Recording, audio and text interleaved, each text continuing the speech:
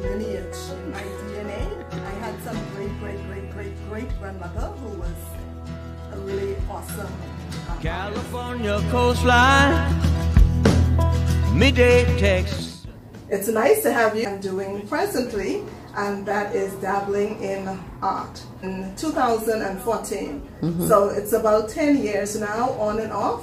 I, you know, when I'm distressing or stressed, I pick up a paintbrush and um, I.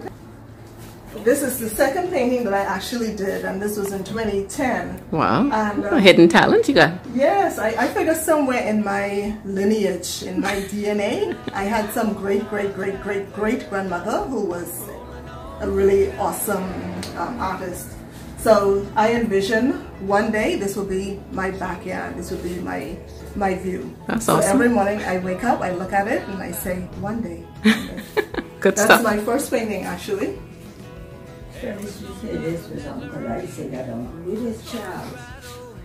So this is my first painting, and you heard Mother in the background correcting me on something this is my very first painting, and uh, this was done in 2009.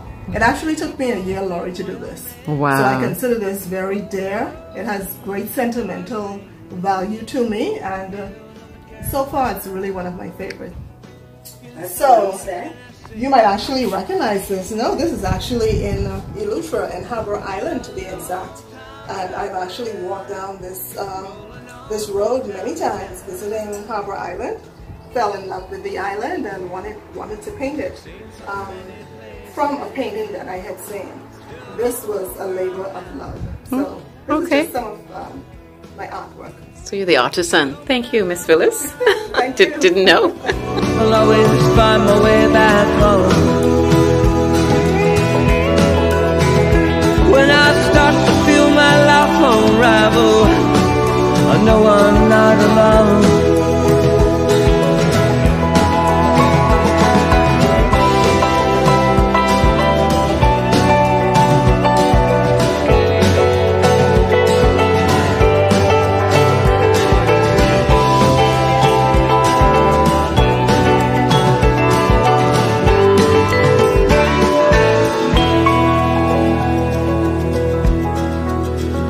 Thunderstorms in Oklahoma